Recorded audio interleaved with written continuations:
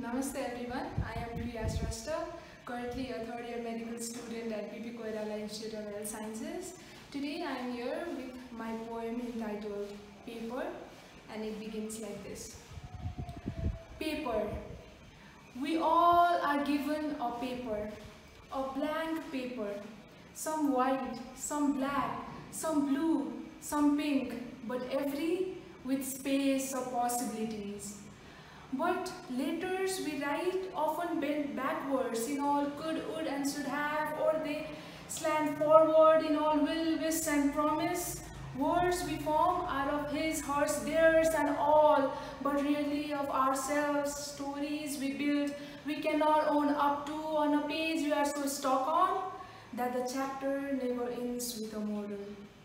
Our lives are like these papers, some short, some long, some crumpled, some smooth, but every with stories to tell.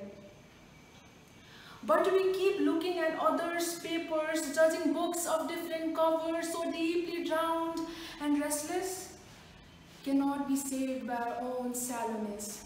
Waiting for a magical stroke of someone to take us into a tale of escapism so distant and illusionary, cannot feel our honest reality. I tell you, we are like these papers.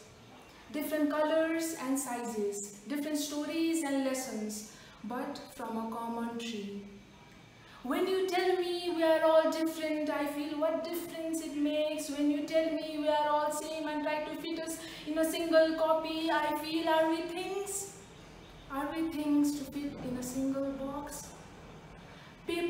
we are becomes the world's memoir. Stories we tell live beyond ourselves only if, only if we can take charge of our people, stay in our character, just be and let others be and embrace this diversity.